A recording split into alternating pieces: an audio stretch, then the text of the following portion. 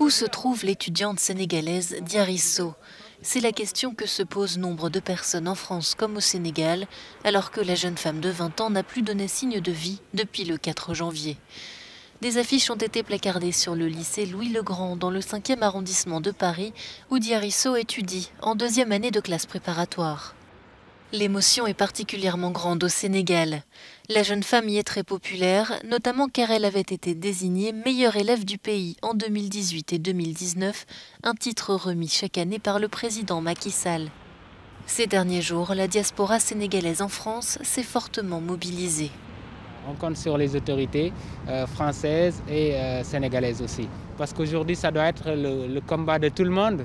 Euh, rien ne serait-ce que pour son, jeune âge et sa brillance. C'est une jeune femme quand même qui peut servir non seulement au Sénégal, mais aussi au monde entier. Donc il faut, qu'on qu qu y pense et puis faire le nécessaire pour la retrouver.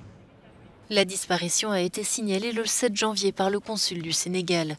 Selon le parquet de Paris, une enquête pour disparition inquiétante a été ouverte et confiée à la BRPD, la brigade de répression de la délinquance à la personne.